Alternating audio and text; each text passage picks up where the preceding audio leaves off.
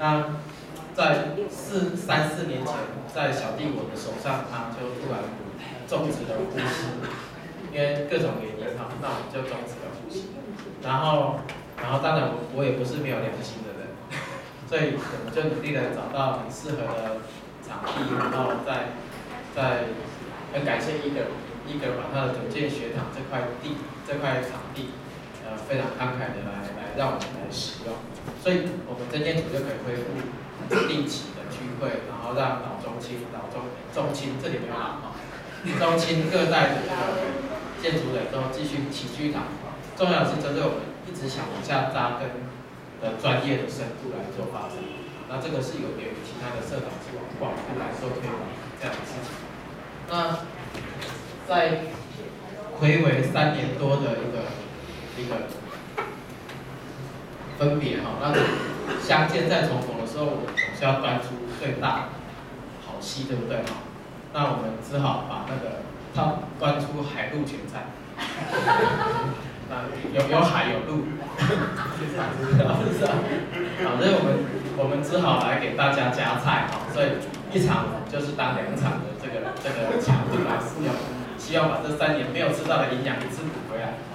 那这个这一季我们大概是一个所谓建筑人的的第二十四对染色体这样的概念。那我们知道所有的行业，很多行业其实他们的专业在。在毕业大学、研究所毕业之后，其实他们就可以上线。只有建筑是毕业后才开始，对不对？呃，毕业之后才出来觉得顿悟，那就是学校写的都都不知道怎么办、怎么用哦。其实应该这个其实不是不能用啊，其实是像张无忌体内的各个真气，对不对啊？乱窜的，不知道怎么使用。我觉得这才是重点。所以我们真建组有义务来帮。跟大家互相的推拿，不是打通任督二脉啊，是这样。那这一系列，我们希望我们除了正常人的二十三岁的个体之外，来了解我们不为人知的那一面。我们除了学校毕业，好好规规矩矩当个学生，毕业之后，到底我们还有第二十四岁的这体前那个事情是什么？我们请到四十岁、五十岁、六十岁、七十岁的建筑界的前辈来为各位来解码。告诉我们，其实我们的记忆里面还有一对什么样的地方，然后让我们好好的做个正正当当的，对吧？做个规规矩矩，不是啊，这个优优秀秀的建筑人哦。那当然要从年轻的开始。那我们环顾台中最年轻的建筑师里面，最有资格来这边讲，而且是四十岁出头的这个年纪，大概就是江乐基建筑师跟黄明的建筑师，对。那我们，对对，那我们我们。我们接着会会请稍微五十出头的哈，预告一下，就是一个月之后，就是也是四月份的月底，二十七号那一天嘛哈。对，我们请到这个这个邱文杰建筑师以及神秘嘉宾。神秘嘉宾本来是张清华建筑师，然后他突然告诉我们说，说他被业主，他笑嘻嘻的说他很痛苦，决定要跟业主去欧洲。对，然后我只好再找这个 X 号，所以大家如果觉得不满意，就是矛头就是针对他，用我们反对度更的强度去对。那呃，四十五十六十，我们在四十跟五十这这个年龄层的建筑师，我们都会采取对话的形式，也就是。他们对他们的生命、职业跟专业生命里面有几个值得我们在思考的几个跟数字有关的题目，来跟大家分享，然后彼此对话，彼此拿枪对射，然后榴弹射到各位，各位也在射。我想我们不要像无聊的这样子哈，这样一个单向的，我们要互动。那五十岁的会，那六十七十的。的前辈因为人生经历了太多太多的历练，一定有满腹的想法要跟各位分享。所以我们不能让他对话，这样会觉得对方都占用他的时间哈。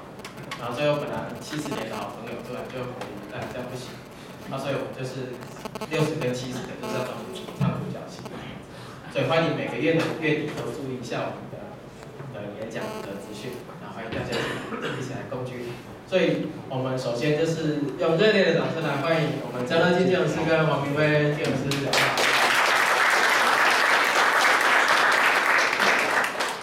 那我我不多不多介绍了哈，因为你们都知道要下来听演讲，就表示对他们两位都非常的敬仰跟认识，我就不要再多介绍了。那我们赶快，时间有点累到，我们就就要进入主题了。那首先我们。各位老师是要先讲 N 的关于建筑开口的启示。哎，我是对不对？大概对，更正确。那我们在热烈掌声请他开始，跟我们哎那种复苏后苏醒来的第一场演讲的第一句话，谢谢。谢谢大家。嗯，对，开这是建筑的开口。那么，嗯，其实。大概在二零零九吧，两三年前，就是国美馆邀请我们去跟这个建筑做一个对谈的时候，就是培训副洽的时候，那么就有要求我们在用那个喷气团体的模式，就是每每一张幻灯片二十秒，然后放二十张幻灯片，讲解一下自己，介绍自己的作品。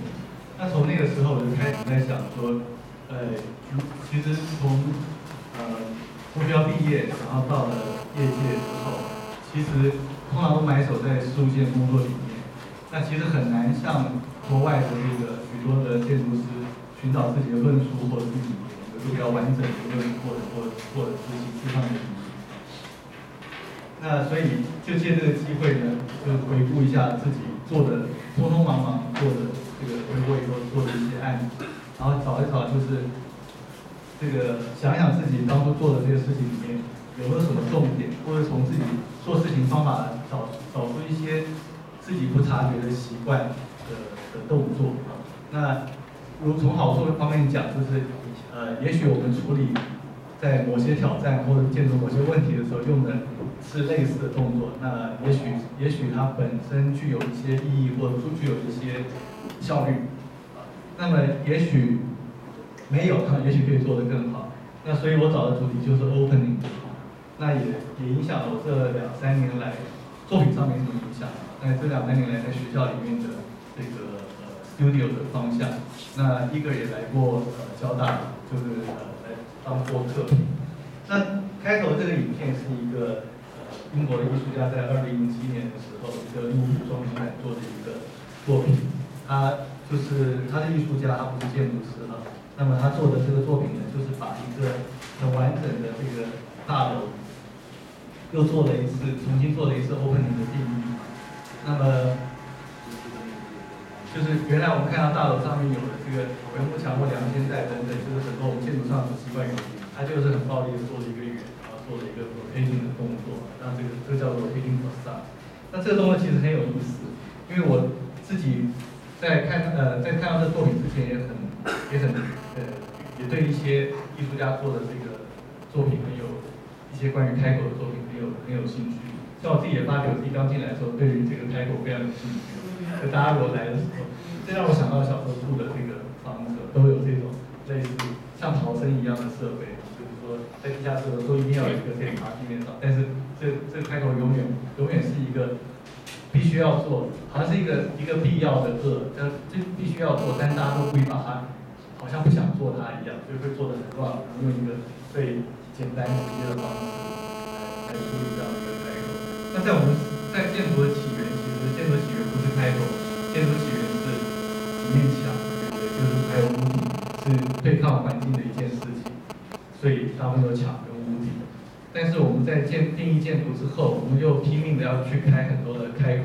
因为我们发现跟呃建筑跟环境的之间的关系不只是对抗，有的时候其实跟环境之间我们还是需要有通风、有采光、要呼吸等等啊这件事情。所以开口这件事情是重要的。那么，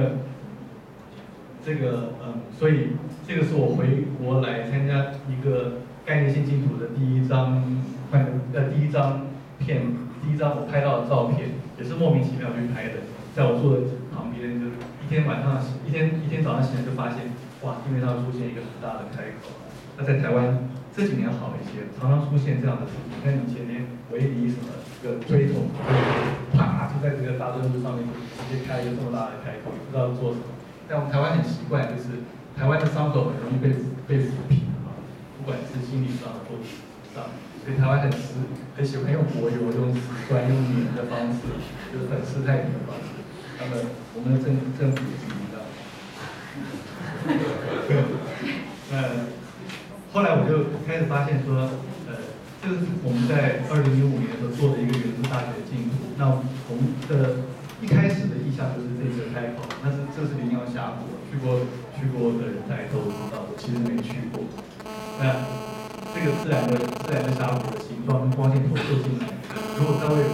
电影叫做《一百二十八小时》，一个被困在峡谷，一手被夹住。我若看了电影，我大概就会放这张照片，那是恐怖的电影，所以那个在困在一百。但这峡谷进来的光线是很迷人的。也就我们通常在谈开口的时候，在建筑的时候，大家都会先想到光线的事情，所以我们很想捕捉这个光线的品质。那发现说这光线品质其实是经过一连串的，像是这个地质地质侵蚀一样出来一个很有机的形状的开口，所以我们就把这个开口，先尝试用很几何的方式来描述它，就是把一个正方形的量体切成了两个三角形，让它旋转，中间出现一个像峡谷一般的空间，然后我们就打光来 study 这个空间的一个品质，和成就一个校园轴线的一个可能性。然后我们就出现，可是很不幸的，这个这个房子其实非常的大，所以我们着重在这个虚空间的努力呢，到最后就只有在在中间的一个旋转的一个虚空间里面得到的呈现。那么呃，大概是利用一个这样的方式来做一个渐退，然后用一个倾斜的结构来把它撑起来，主要就是让校园有一个呈九十度的一个轴线呢，能够在这里面呈现一个翻转。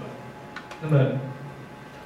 这是我们其实处理校园建筑的时候一个。通常通常发现的一个习惯动作，就是会去处理所谓的虚空间，就是用开口的方式来处理。那么在跟江建筑师合作的一个东海大学人文大楼里面呢，就朝向路西教堂开口，我们就开了一个很大的一个卡，让这中庭里面可以借由这个开口，可以看各处都可以看到路西教堂啊。那甚至连这个图书馆部分都是用玻璃帷幕的做法，然后可以看出来。那可以，可能虽然 opening 是一个虚的东西。但是要定义一个 opening 呢，却是用两片很 solid 的石墙来定义，这样子才有办法在画面上形成一个大的画框。所以这就是从这个大的画框里面看出去路西教堂没，有。